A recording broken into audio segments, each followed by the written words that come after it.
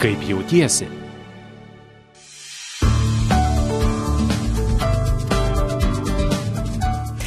Sveiki, LRT radio klausytojai, prie mikrofono šį trečiadienį aš, Urte Korsakovaitė, o artimiausią pusvalandį, kaip ir visuomet, tokiu metu laida Kaip jautiesi.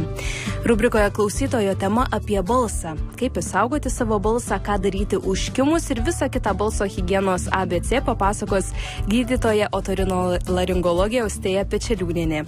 Rubrikoje Faktas ar mitas apie dezodorantus ir antiperspirantus. Daugiau naudos ar žalos jie pridaro. Tad tokius klausimus aptarsime aptarsime šiandien artimiausią pusvalandį. Kviečiu ir jūs užduoti saviškius bei likti kartu su laida Kaip jautiesi. Klausytojo tema. Mėly klausytojai, kaip visuomet, prie pokalbio galite prisijungti ir jūs, jeigu turite klausimų apie balsą, jo higieną, užkimimą arba kitus dalykus. 2363111 Vilniaus kodas 85, o aš atsidarau ir mūsų elektroninį paštą. Primenu, kad jis yra studija LRT.lt, tai tikrai galite brūkštelėti ir čia mums laiškelį. O mes apie visą tai, ką ir preanonsavau, čia LRT radio studijoje kalbame su gydytoja otorinolaringologe Austėja Pečeliūnė. Sveiki. Labas vakaras. Šią savaitę minima pasaulinė balso diena. Austė, kiekvieno balsas yra unikalus, tad kas daro tą balsą tokį išskirtinį? Trumpai tariant, tai, kad mūsų kiekvieno anatomija ir kiekvieno balso aparato sudarančios dalys yra skirtingos, unikalios, būtent tai ir padaro balso unikalų. Ir kokie tie balsai galbūt yra kažkoks standartas, kuris yra gražus, kuris yra negražus, kaip mes apibrėžiame, kad e, kažkieno balsas yra gražus arba ne? Tokio standarto tai tikrai nėra, e, tačiau, e, tačiau yra tam tikrų duomenų, kad žemesni balsai ir tam tikra kalbėjimo maniera, tai yra, kai žmogus kalba kažkiek lėčiau, kai kalba užtikrintai, nemikčiodamas, kad tai yra maloniau ir patraukliau klausytojui. Tačiau tokio standarto tikrai nėra ir yra įvairių balsų, kurių mes su malonumu e, klausome, nes visas mūsų, aparat, visas mūsų kūnas ir yra balso aparatas, taip pat ir ta emocija, kurią mes ištransliuojam. Ir dažnai, galbūt jeigu nedirbame su balsu, tiesiog kalbame, nesusimastome apskritai, kas yra ta balso higiena, ką aš ir anonsavau pačioje pradžioje, tačiau tikriausiai tiems, kurie dirbo su balsu mokytojams, taip pat ir mums žurnalistam, dainininkam, aktoriam, nežinau, ir kitiems, e, kuriems reikia to balso, tai yra labai svarbu, kas yra ta balso higiena. Taip, tai jau čia kaip ir pati paminėjote. E būtent balso higiena pirmiausia prasideda nuo to, kad mes turim suprasti, kad priklausom tai balso profesionalų grupiai ir vat, jūsų minėti dainininkai, mokytojai, jie dažniausiai tai puikiai supranta. Tačiau yra įvairių kitų profesijų atstovų, kurie be balso iš vis negalėtų dirbti, tai yra pardavėjai.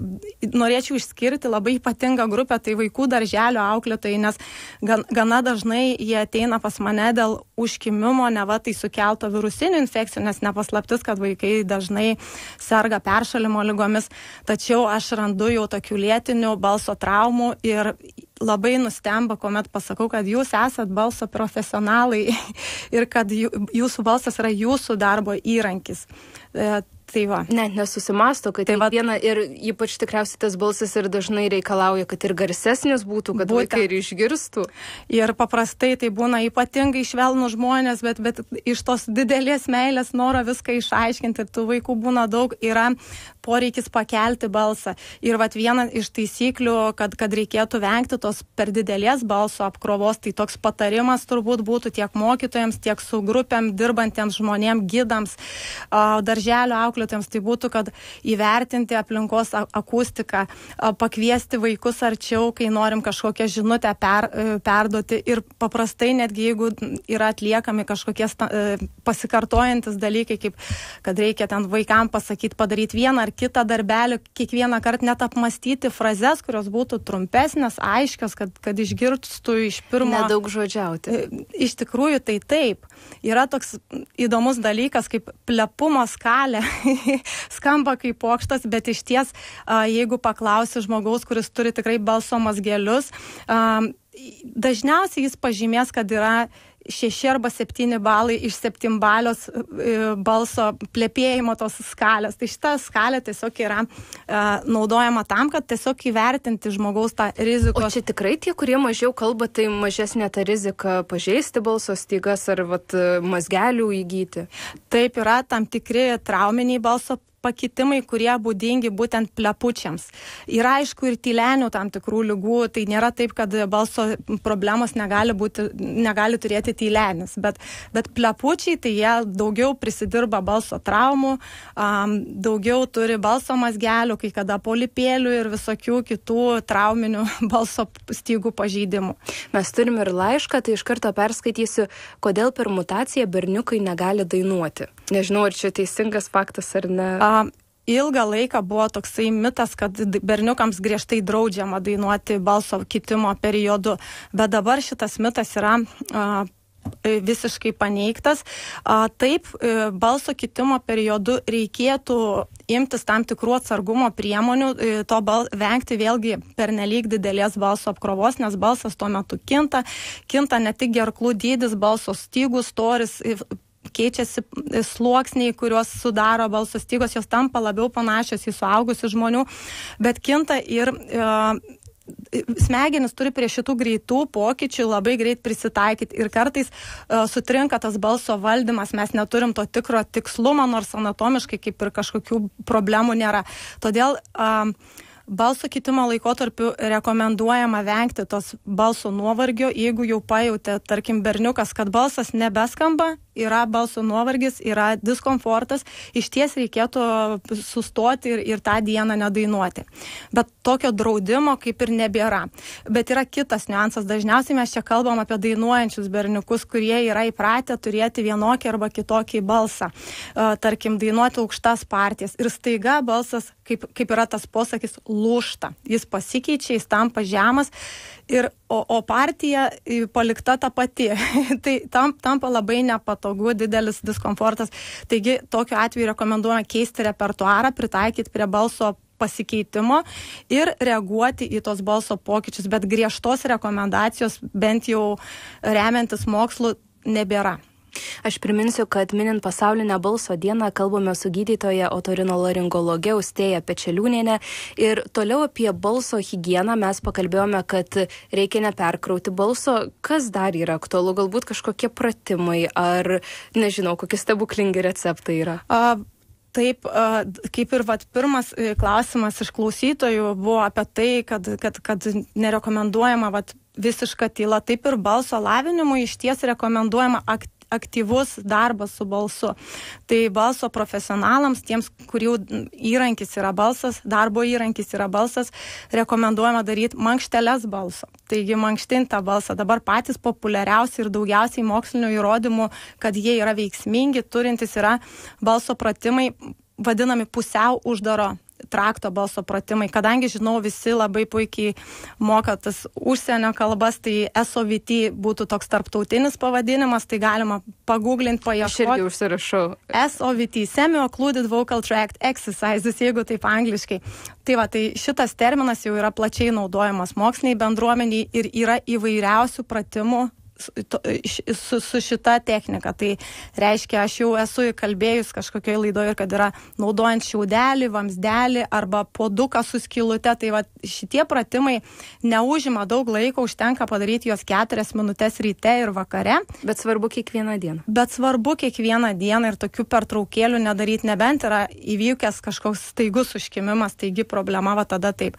Tada dar vienas dalykas, ką mes nu visi galim padaryti, tai galim padrėkintas balso klostės maistas. Tai galima tiesiog vartoti pakankamai skyščių, vengti tos dehidratacijos, kuomet mes ten negeriam visą dieną. Tai būtų labai negerai balso aparatui. Taip pat veiksmingas yra ir išorinis balso stygų drėkinimas. Mes jau su jumis surti esam ir apie tai šnekėję, kai kalbėjom apie gerklės skausmus ir, ir, ir užkimimus.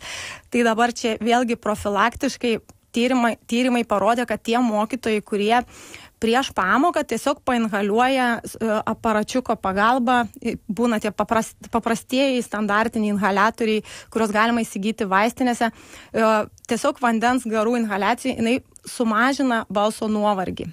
jeigu mat, kuris buvo matuojamas ten dviejų valandų bėgyje. Tai, tai tas yra reikšminga, tas yra svarbu ir tas gali pagelbėti net kasdien, kasdienybę pagerinti žmogaus. O ką reikėtų pilti į tą aparačiuką? Yra vėlgi skirtingi tyrimai, pagrindė yra rekomenduojas arba izotoninis, arba hipertoninis uh, uh, skystis. Uh, to izotoninis šiaip mažiausiai tokių šalutinių dirginimo reiškinių turi. O ką reiškia, aš kaip suprantu, vienas mažiau druskingas? Taip, labiau. būtent, būtent. Tai, tai tas labiau druskingas iš tikrųjų pagal tyrimus, kas mane šiaip irgi labai nustebino, kad jis pasirodo ilgiau išlieka ant paviršiaus, nors aš galvojau, kad kaip tik atvirkščiai, bet iš ties tai ilgiau išlieka ant paviršiaus, o izotoninis jisai galbūt mažiau dirginantis ir šiaip aš visiems, kas, kas jau tokie jau, jautresni turi tą ryklę, tai ir tikrai sakyčiau painhaliuoti tą izotoninį, pabandyti visada išsibandyti namie, ne prieš pasirodymą, išsibandyti visus tos naujus metodus, net ir pratimus, ne prieš koncertą, ne prieš svarbų pasirodymą, bet žinoti jų poveikį ir ko tikėtis, kad tiesiog, bet, bet šiaip jeigu remiantis tyrimais, tai yra absoliučiai saugus metodas. Aš priminsiu, kad ir klausytojai gali prisijungti prie pokalbio 236-3111 Vilniaus kodas 85. Galite parašyti ir laišką, ką padarė Lolita. Priminsiu, kad paštas studija etlrt.lt, o mes apie balsą kalbame su gydytoja otorinolaringologe Austėja Pečeliūnienė. Turiu tokį klausimą, ką daro dainin, ar yra kažkoks stebuklingas būdas, kaip atgaivint balsą. Dažnai būna ypač peršalimo e, lygų sezono metu, e, sako, kaip man per naktį susigražinti balsą. Ar yra kažkoks būdas, kuris va taip stebuklingai ir padėtų? Tai visų pirma, tas užkimimas gali atrodyti kartais visiškai nekaltas. Bet aišku, dainininkams tai bet koks užkimimas jau yra tragedija ir sukelia didžiulį stresą, nerimą ir, ir panašiai, nes jie paprastai jaučia ir didelę atsakomybę už tą savo pasirodymą ir, ir yra grafikai labai griežti ir tada užsiveda tas nerimo mechanizmas. Kuris ne, neprideda. Kuris gerų. neprideda, taip. Tai šiaip jeigu tai tėra balso nuovargis, bet ne kažkoks organinis pakitimas ant stygų, tai tyrimai rodo, kad kai kada užtenka tiesiog elementariai 6-8 valandas patilėti ir nieko nedaryti. Tiesiog. Bet jeigu, tarkim, atliekant paburkimo testą, yra toks swelling test, čia anglų kalba būtų, lietuviškai verčiant paburkimo testas. Jeigu atliekant paburkimo testą neskamba aukštos natos, galima įtarti kažką rimčiau. Kaip tas testas atliekamas, tai čia labai labai paprasta, tiesiog reikėtų iš apačios į viršų padainuoti aukštas natas ir, ir jeigu neskamba aukštos natos, greičiausiai kažkas yra ant balso stygų, tai būna paprastai patinimas, kuris gali reikšti, kad įvyko balso trauma, kad atsirado polipėlis arba šiaip, kad yra gleivinė uždegimiška, tai va tokiu atveju reikėtų turbūt, kad kreiptis į gydytoją. Dabar apie tos stebuklus būna stebuklų ir yra tam tikrų veiksmingų priemonių, tai yra tam tikris prieš uždegiminiai vaistai, kuriuos galima paskirti ir jeigu tai yra svarbiausias gyvenime pasirodymas, kai kada galima paskirti tuos vaistus, kurie, bet, bet reikia visada įvertinti šalutinį efektą, o jie paprastai turi šalutinių reiškinių, tada reikia įvertinti tai, kad uh, greičiausiai uh, dainuojant su tam tikra problema bus didesnis kraujagyslių trapumas ir tada mes rizikuosim iš ties papildomai patraumuoti tą balsą.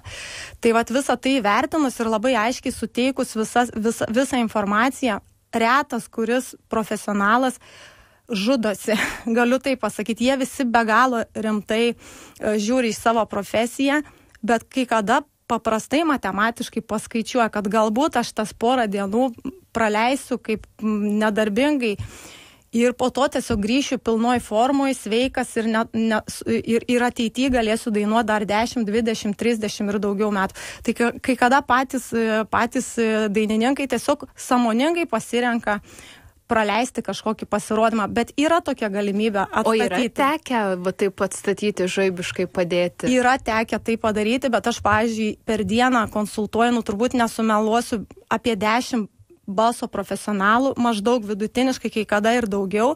Ir per metus turbūt esu tokį gydimą paskyrus greičiausiai penkiems per metus 12 e, mėnesių atgal nuo šiandien. Tai, tai, tai iš tikrųjų yra netoks dažnas dalykas, bet šitą galiu pastebėti, kad yra kai kada neatsakingai vartojami tie vaistai, neišaiškinami šalutiniai reiškiniai, neįvertinama tinkamai situacija Bet tai nereiškia, kad visada reikia atšaukti tą pasirodymą. Kai kada tai yra uh, išorinių gerklų raumenų įtampa, kurią atstačius galima tiesiog uh, atgauti balsą, nes gali būti, tarkim, kad balso stygos visiškai sveikos, bet yra išorinių gerklų raumenų įtampa, pakitusi gerklų padėtis, kurią atstačius tam tikrom kvepavimo technikom, tam tikrais e, pratimais, galima iš tikrųjų tą balsą gerą turėti kitą dieną be jokių super e, sudėtingų preparatų ir, ir žalingų. Mums dar ponas Algirdas iš Vilniaus paskambino, sveiki.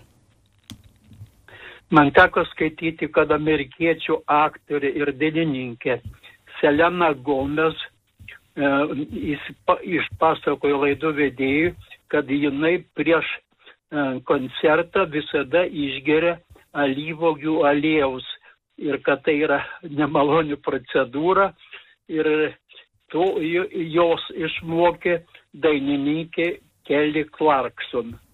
Tai tiek. Ačiū labai už jūsų tokį pastebėjimą. Nežinau, ar, taip, ar galit turėti kažkokį teigiamą poveikį atlikėjim? Ačiū labai už klausimą. Uh, iš ties uh, tyrimai yra padaryti ir su įvairiais sirupais, ir, ir tais pačiais aliejais, tai uh, aiškiai yra įrodyta, kad jeigu mes nuryjam kažkokį preparatą, jisai patenka į stemplę ir į skrandį, bet nesutepa balso stygų, balso kloščių kažkokiu būdu. Bet dainininkai turi įvairių ritualų ir kai kada tie ritualai yra daugiau psichologijai pagent, kas irgi yra svarbu ir tai nėra blogai. Aš, kad kenktų alyvogių aliejus, aš tikrai nepasakyčiau. Ir daliai žmonių yra, tarkim, toks užpakalinės ryklės senelės, toks dirglumas. Tai galbūt čia yra su tikslu šitą dalyką, mm, ta prasme, arba tiesiog daugiau galbūt jis čia yra ritualas, bet mediciniškai, kad būtų įrodyta, tai, tai taip tikrai nėra.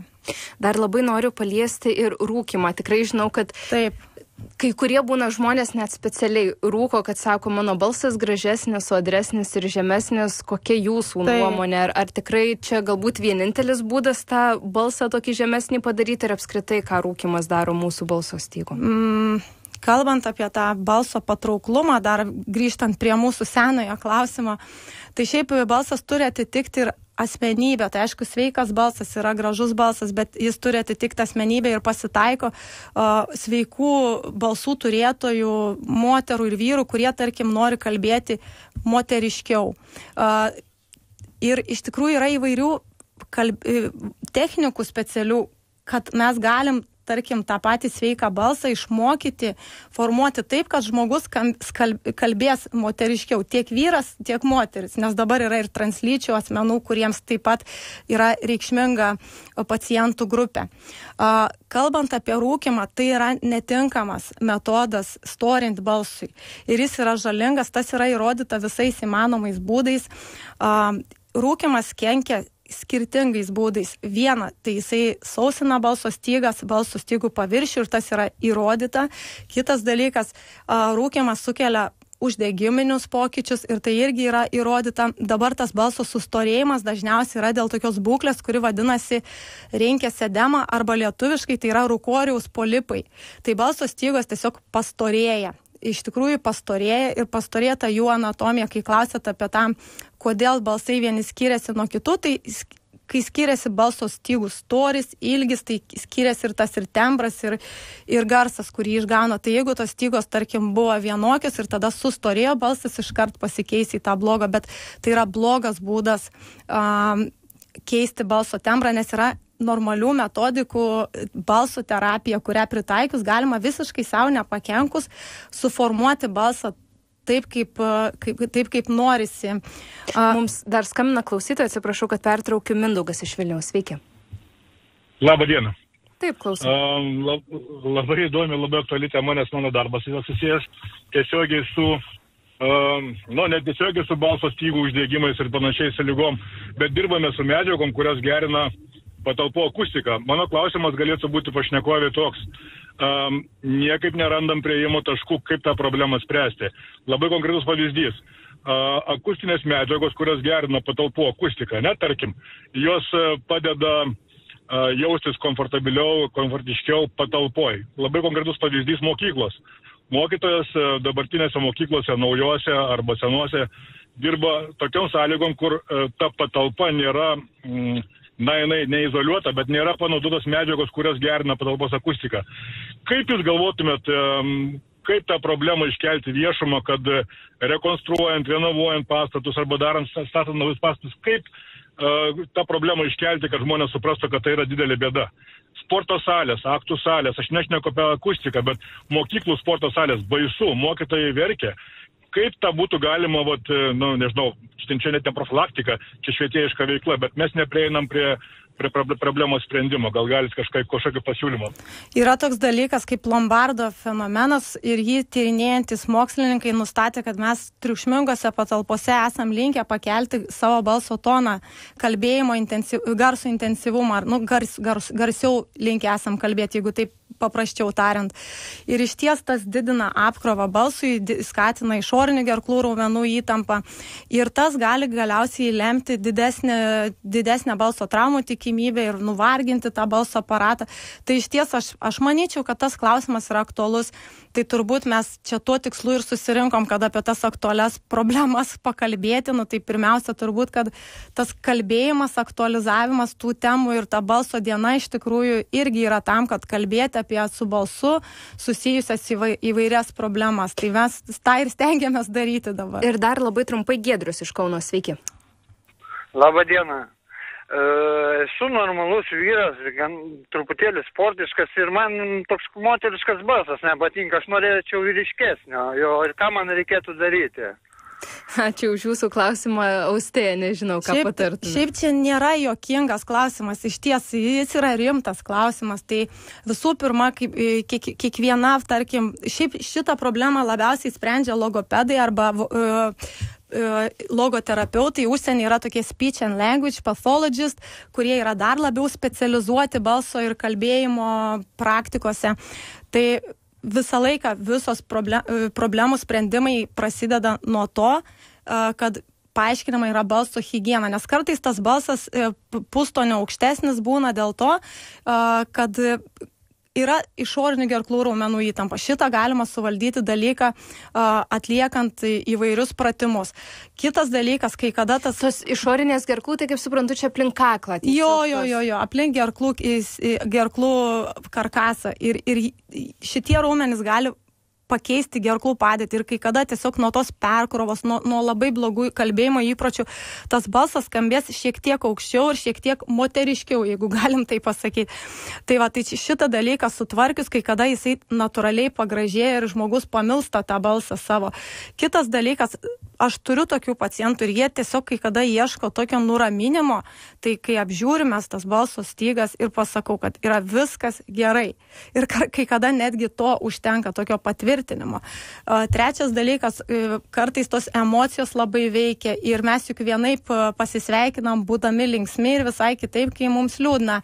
Tai kartais tiesiog tas jaudulys, e, socialinės baimės įvairios, jos priveda prie tam tikrų balso problemų.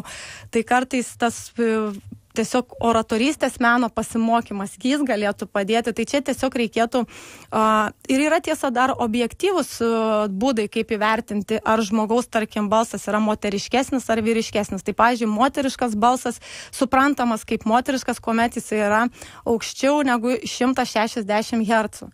E, didesnis. E, tai va toks balsas suprantamas kaip moteriškas. Tai kai kada tas balsas yra visiškai normalus ir kartai žmogui užtenka tiesiog nuraminti ir pasakyti, kad viskas, viskas yra gerai. gerai. Bet yra ir tam tikros technikos vokalinės, kurias pritaikius galime kalbėjimo manierą pakeisti, kalbėjimo ritmą ir, ir, ir per tai, per tas praktikas galima pasiekti norimą rezultatą be invazyvių kažkokių sprendimo būdų.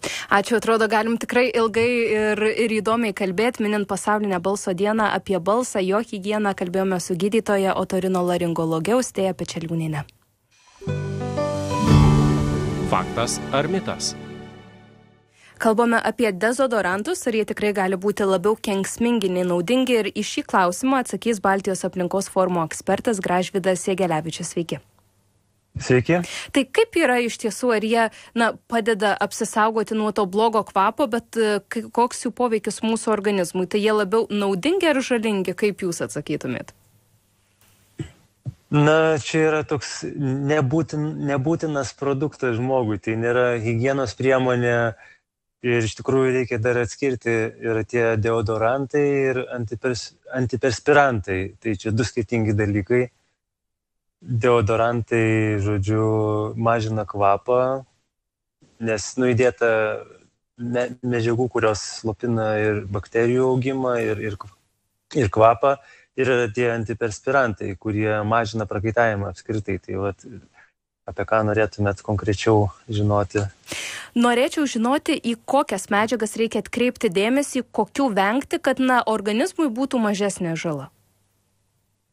Tai jeigu pažiūrėtume parduotuvių lentynoje į, į, į tų produktų sudėti, tai ten aišku labai daug visko pridėta, bet manyčiau, į ką labiausiai reikėtų atkreipti dėmesį ir ko vengti yra aliuminio junginiai, ir kvapiosios medžiagos ir konservantai yra tokie trys pagrindiniai dalykai. Aišku, yra ir kitų. Čia, aišku, išvardinti viską būtų sunku, bet e, jeigu pradėtume nuo aliuminio druskų, tai e, būtent antiperspirantų sudėtyje jos būdingos. Jos sutrikdo iš, iš esmės prakaito liaukų funkciją, užkimždamos e, dalinai arba pilnai jas ir tokiu būdu mažėja prakaitavimas, bet tai yra nu, organizmo funkcijos trikdymas iš esmės ir gali kilti nu, nedideli uždegiminiai procesai. Um, ir uh, teko matyti mokslinių darbų, kur teigiama, kad aliuminis veikia kaip genotoksinė medžiaga ir gali sutrikdyti estrogeno receptorių funkciją. Tai, tai net yra... ir hormonų pusiausvyrą, ar ne? Taip, e, ir būtent aliuminio druskos esančios dezodorantuose, e, tuose perspirantuose patenka į kūną. Ir toliau dar teigiama, kad, žodžiu, parodoma paralelė tam moksliniam darbė, kurį skaičiau, tarp šitų deodorantų panaudojimo ir krūties rėžio atveju. Tai va čia yra tokia nurimta rizika. Tai manau, kad čia yra pakankama priežastis stengtis vengti šių junginių. Tai konkrečiai aliuminio chlorhidratas ir dažniausiai, dažniausiai pasitaikantis junginys dar dar būna kitų junginių, aliuminio zirkonio kažkokie tai junginiai. Taip, tai aš perspėsiu klausytojus, patarsiu, kad venkite tų priemonių, e, kur išvardinti yra nurodyti pono Jėgelevičiaus junginiai ir atsakingai žiūrėkite į etiketes, kad organizmui sudarytumėte kuo mažiau žalos ir kad būtų tie preparatai kuo palankesni jūsų sveikatai. O aš padėkosiu pašnekovui fakto ir mito rubrikoje apie dezodorantus ir antiprespirantus. Kalbėjome su Baltijos aplinkos forumo ekspertu Gražvydu Jėgelevičiumi. Štai tokios temos šiandien laidoje, kaip jautiesi. Tikiuosi, kad išgirdote ir jums naudingos informacijos. O visai netrukus 17 val. žinios ir po jų laida 60 minučių.